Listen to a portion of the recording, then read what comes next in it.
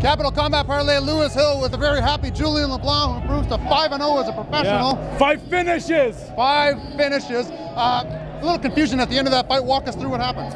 Actually, I thought I knocked him out, but uh, I broke his arm, so I'm sorry to Drayton. Uh, I, I, I, hit him good with a punch. I think it was, it was a switch, and uh, I, I, saw him get a little bit uh, wobbly, so I, I, went for the throw and uh, I, I like I, I went for three elbows and he was tapping, but I thought he was out, but I, I broke his arm. So, but no matter what, I would have choked him out like sooner or later. So, you know, it's that the finish is what I wanted.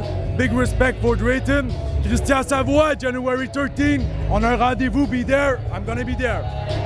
I don't have to ask him what's next. Julien LeBlanc, everybody, Capital Combat Parley. Thank you very much, guys. Always a pleasure. Thanks, guys. Thank you. I'm so happy, man.